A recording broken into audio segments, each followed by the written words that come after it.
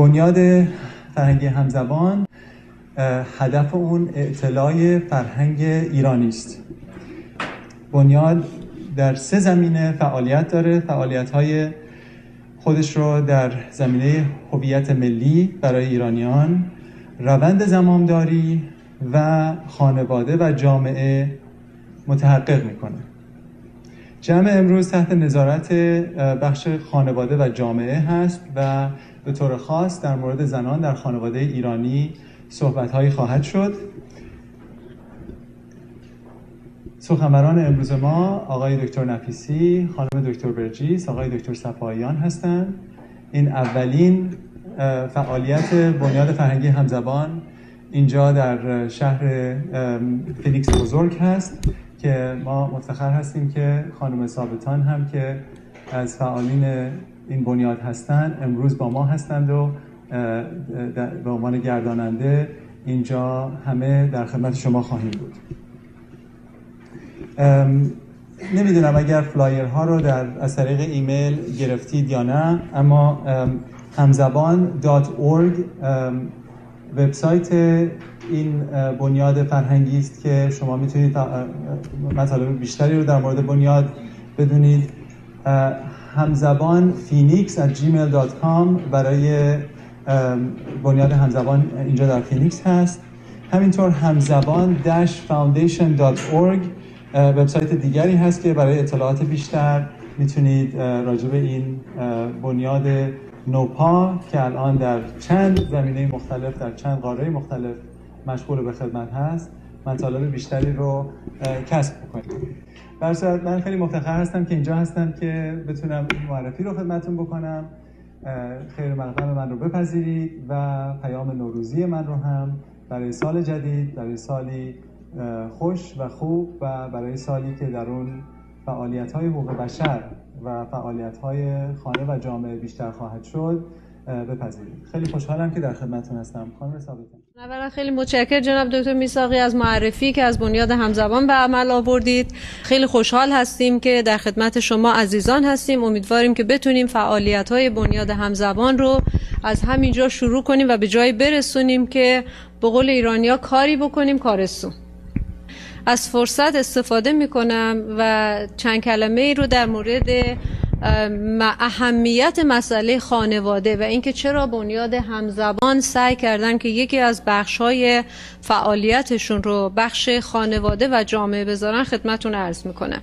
بنیاد همزبان یکی از علتهایی که بخش خانواده و جامعه رو در محدوده فعالیت خودش گنجوند این بود که خانواده رو به عنوان اساس جامعه بهش نظر می‌کنه. یعنی واحد جامعه است. به عبارت دیگه خانواده یک جامعه کوچیک است که این جامعه رو هر قانونی هر فعالیتی هر حرکتی هر جنبشی که در جامعه قرار ایجاد بشه هر فردی از جامعه قبلا اون رو در خانواده تجربهش می‌کنه. قبلا اون رو در خانواده تمرینش می‌کنه.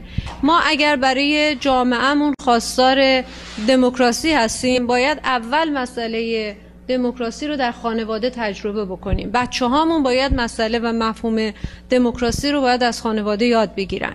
اگر خواستار آزادی اجتماعی هستیم باید این رو در خانواده تجربهش بکنن تمرینش بکنن.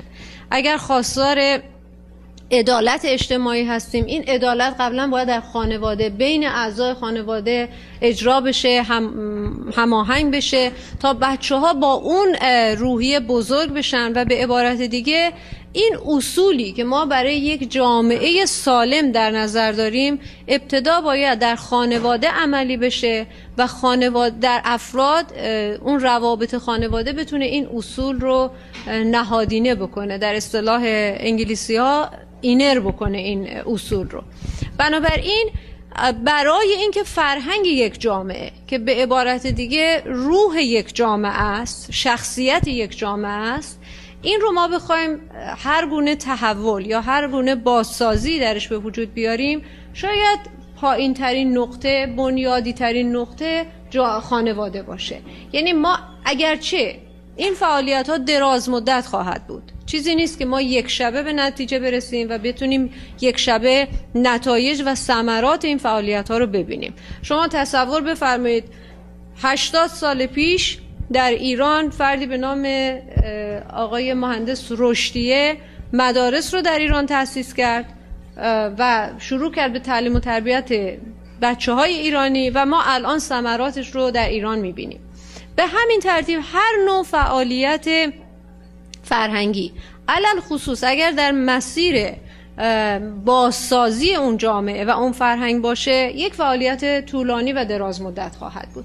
بنابراین ما این فعالیت رو امیدی نداریم که یک شبه تاثیراتی در محیط و جامعهمون بذاره. ولی اگر هر فردی از خودش و از روابط خانوادگیش این فعالیت رو شروع کنه مطمئنا ثمراتش نصیب خودمون نشه نصیب فرزندان و بچه ها و نواهامون خواهد شد. به هر حال این یکی از عللی است که یک بخش از فعالیتاش رو بنیاد همزبان به مسئله خانواده اختصاص داده. یکی از فعالیت هایی که گروه همزبان تیم همزبان در شمال کالیفرنیا انجام میدن یکی از فعالیت هاشون تشکیل یک انجمن خانواده دادن که من فکر می‌کنم شما هم از همینجا می‌تونید عضویت اون انجمن رو داشته باشید. این انجمن هر ماه یک سمینار داره که در مورد مسائل مربوط به خانواده مسائلی که ما هر روزه باهاش دست به گریبان هستیم با بچه هامون با نوجوانامون علل خصوص ما ایرانی ها که دوچار یک دوگانگی در فرهنگ هستیم. خودمون از ایران مهاجرت کردیم. یک بار فرهنگی رو از اونجا با خودمون آوردیم. بچه هایی که اینجا متولد میشن عملا ایرانی نیستن عملا امریکایی هستن. در خانواده ایرانی بزرگ میشن از فرهنگ غربی متاثر میشن و خود این پیامدها و عوارضی داره که اگر بهش توجه نشه هم برای بچه ها هم برای خانواده ها ایجاد مسائل و مشکلاتی خواهد کرد. به حال از جمله فعالیت ها این انجمن هست که تمام دوستانی که اینجا هستن اگر مایل باشن می‌تونن عضویت در این انجمن رو داشته باشن اون سمینارها هر ماه پخش میشه ضبط میشه به شکل دی به شکل دیویدی در میاد و می‌تونیم که اون رو در اختیار تمام دوستان عزیزی که عضویت این انجمن رو میپذیرن داشته باشن. منظورم اینه که این یکی از فعالیت هاست. ابعاد دیگه ما در فعالیت هامون داریم سمینارها و کنفرانس های متعددی در واشنگتن دی سی در زمینه هویت ایرانی تشکیل شده. در زمینه روند زمامداری در ایران تشکیل شده که اینها ممکنه برای دوستانی که علاقمند باشن به مسائل اجتماعی ایران به بسیاری از فعالیت هایی که لازمه در بازسازی سیاسی و اجتماعی ایران بشه فعالیتی داشته باشن مشارکتی داشته باشن می‌تونن با این بخش از گروه همزبان هماهنگی داشته باشن و در ارتباط باشن. خدمتون عرض می‌کنم که در این پنل هر کدوم از دوستان پنج تا هفت دقیقه راجب موضوع امروز پنل به نام چالش های زن ایرانی صحبت خواهند کرد. بعد سوالاتی رو مطرح خواهیم کرد. یک حالت گفتمان با هم خواهیم داشت و بعد هم وقتی در خدمت شما عزیزان خواهیم بود که هم از نظریاتتون استفاده بکنیم و هم اگر پرسشی مطلبی هست در خدمتون باشیم. من مقدمتا عرض بکنم که چرا ما مسئله چالش های زن ایرانی رو انتخاب کردیم برای موضوع امروزمون. در واقع اصلا مسئله چالش های زن ایرانی باید ارز کنم که از ایران شروع شد. اولین نقطه که در دنیا مسئله زن حقوق زن آزادی زن چالش های زن مطرح شد. همه شما بهتر از من می‌دونید که با فردی زنی بسیار زیبا دانشمند به نام تاهره ملقب به قررت العین که نام اصلیش زرین تاج بود شروع شد. این خانم یکی از دختر یکی از معممین قزوین بود که پدرش از افرادی بود که خیلی تاثیر داشت در آموزشی که به این دختر داد. از همون بچگی به این دختر تمام مسائل فقهی و به اصطلاح علمی رو که در زمان خودشون باب بود به دخترش تدریس کرد و بعدها این دختر طوری بود که وقتی پدرش صحبت می‌کرد و درس می‌داد به شاگردانش ایشون از پشت پرده مینشست گوش می‌کرد و نظر می‌داد. همیشه پدرش آرزو می‌کرد که ای کاش تاهره پسر بود. ولی اولین جنبش زنان در دنیا با این فرد شروع شد. دختری به نام تاهره در قزوین که اولین کسی بود که در ایران هجاب رو برداشت. در واقع هجاب مسئله مسئله برداشتن چادر نبود بلکه یک نماد و یک سمبولی بود از اون بندهایی که زن ایرانی درش گرفتار شده بود.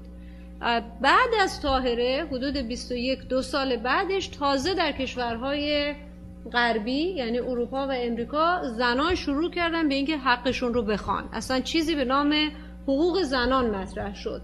تا اون موقع مثلا زنان امریکایی و اروپایی حق مالکیت نداشتن. و تاهره بعدها به دست ناصرالدین شاه کشته شد. آخرین جمله‌ای که عنوان کرد اینطور گفته میشه که گفت شما ممکنه من رو از بین ببرید ولی ندایی که من برای آزادی بلند کردم تا ابد در تموج خواهد بود و واقعا هم همینطور بود.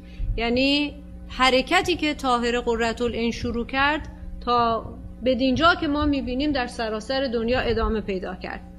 خب این مسئله از ایران شروع شد و الان هم در واقع ما می‌بینیم که ایران یکی از عرصه های بزرگ است برای چالش های زنان.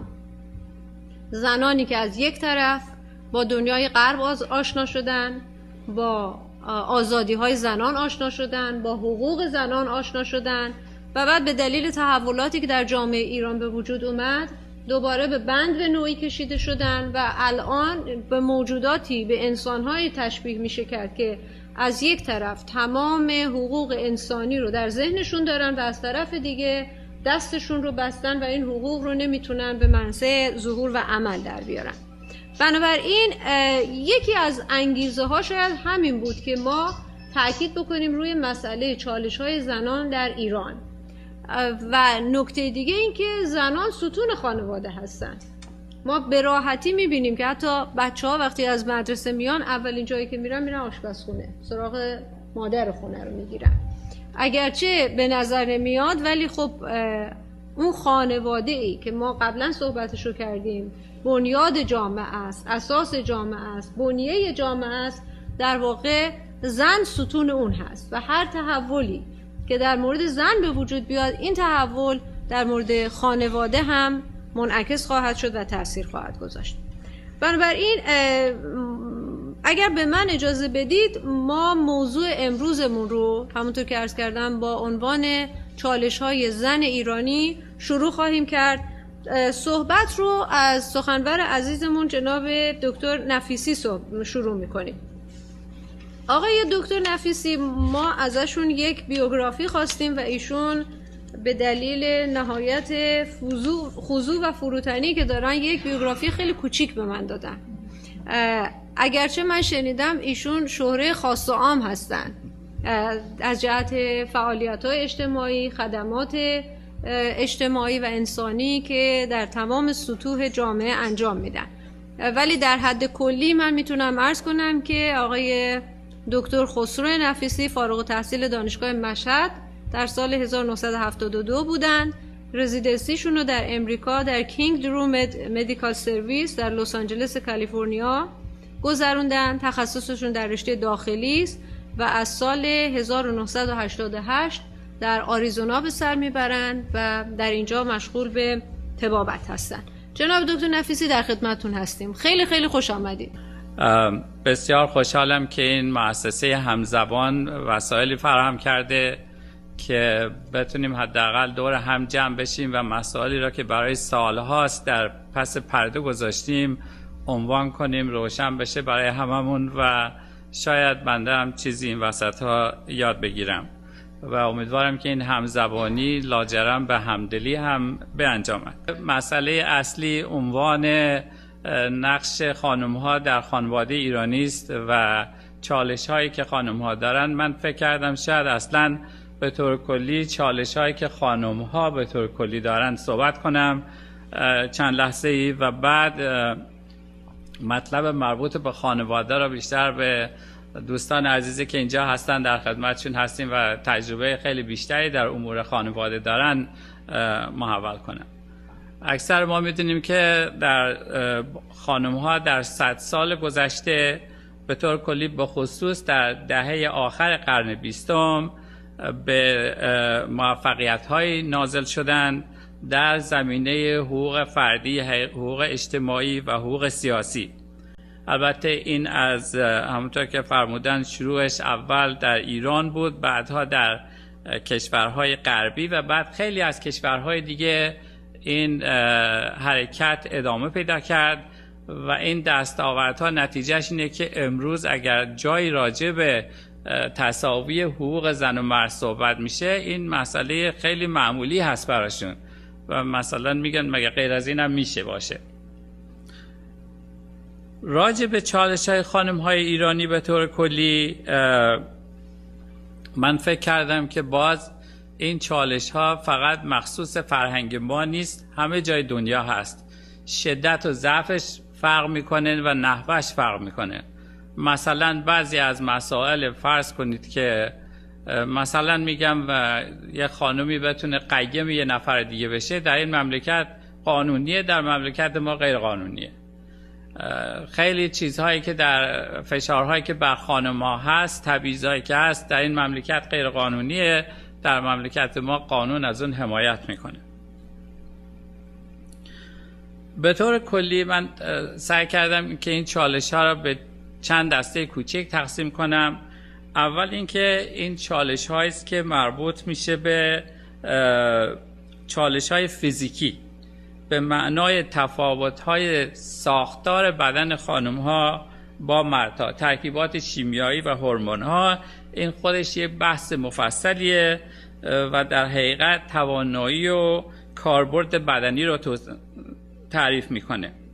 در همینجا باید بگم که این این مسئله به هیچ عنوان مبنای حقوق افراد نمیشه. خیلی اینو با هم اشتباه می‌کنن. که فرض کنید که یک کسی که یکم عضلش ضعیف تره این حقش کمتره. در حالی که این مسئله تفاوت های شیمیایی و هورمونی و عضلانی و ساختار بدنی هیچ گونه مبنای برای حقوق انسانی فردی کسی نخواهد بود. همه در این صورت مساوی هستند. مسئله دیگه چالش های کلی اجتماعی و فرهنگی و خیلی طولانی است و بعد قوانین مملکتی است در مورد حقوق انسانی و حدود اختیارات خانم ها به نظر می‌رسه که در طی قرون گذشته وجود خانم ها به عنوان یک انسان مستقل با قدرت اندیشه و تصمیمگیری مستقل به طور کلی نادیده گرفته شده و همیشه این نیمه جهان آفرینش به صورت انسان به صورت انسانی وابسته و تحت سلطه جنس مخالف با صبر فراوان زندگی کرده و زمان را گذرانده. بر اثر مرور زمان این فکر پیش آمده برای اون کسی که قالبه که اصلا این حقشه که قالب باشه. و مردها عادت کردن که همیشه قالب باشن. و حتی این فکر در بعضی از خانم ها پیدا شده که اصلا باید همینطور باشه. و با این مغلوب بودن خودشون عادت کردن و حتی راضی هستن. و ما حتی در بعضی از صحنه این فیلم هم می‌بینیم که این خانم خیلی راحت قبول کرده که خب برای اینکه حرف مردم غیبت نکنن از من حاضر زن یک مردی بشه که یک زن دیگه هم داره. و این رو ما هر روز در اجتماعمون به طور کلی می‌بینیم. مشکل دیگه هم که بنده می‌بینم این هستش که خب بر اثر این عادتی که مردها کردن حتی عده از روشن فکرانی که در امروز در اجتماع هستند و سنگ آزادی زنان به سینه می‌زنن. وقتی خصوصی باشون صحبت می‌کنی می‌بینی که ته قلبشون صحبتاشون هنوز جوکاشون ببخشید هنوز پر از مطالبی راجع تأخیر طبقه نصفان.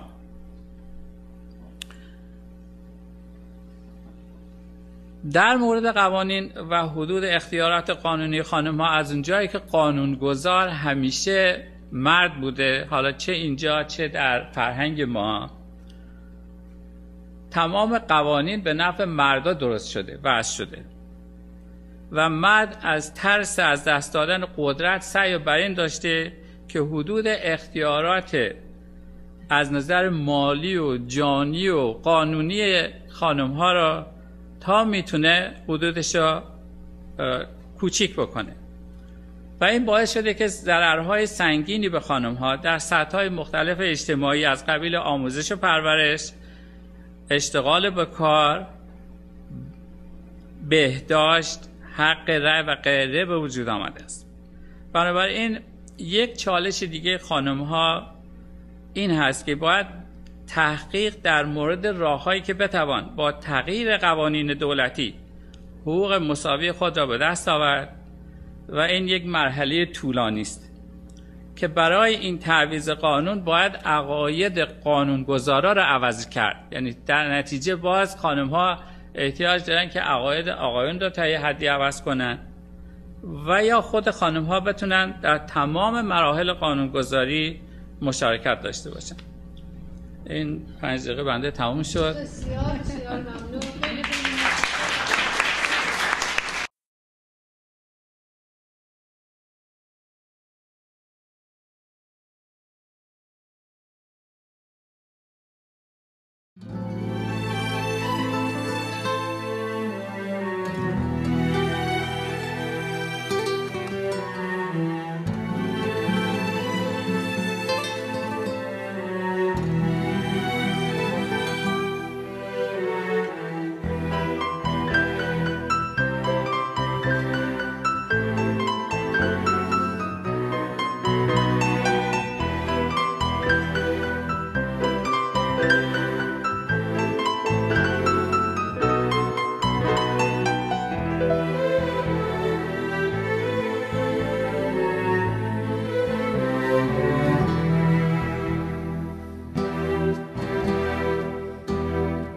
من همه دارو ندارم همه گلهای بهارم دل پاک و بیقرارم همه را همه را به نگاه چشم زیبای تو میبخشم یا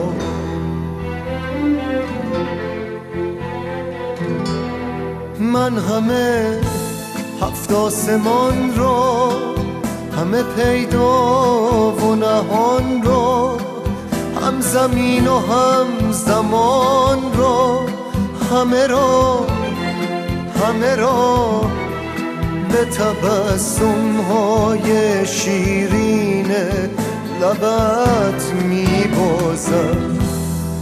همه را میبخشم. همه را میبازم من برایت قصه ها می‌سازم. من به سوی عشق تو میتازم.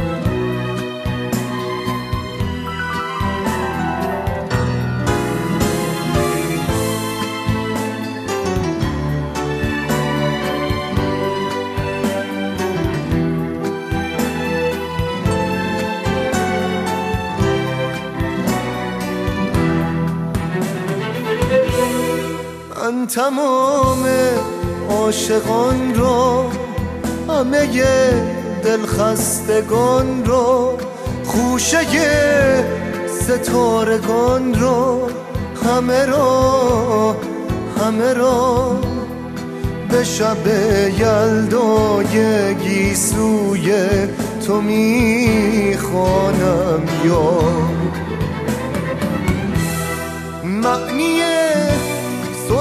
غروب و همه گفته های خوب و حرم شبهای جنوب و همه را همه را به طلوع روشن صبح تو میبخشم یا.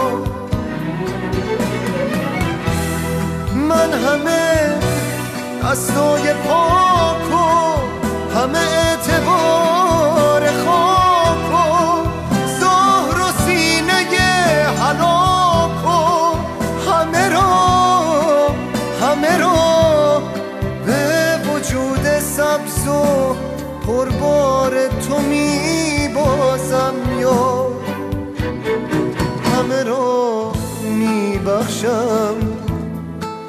همه را میبازم.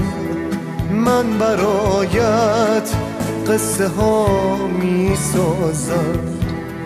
من به سوی عشق تو میتازم.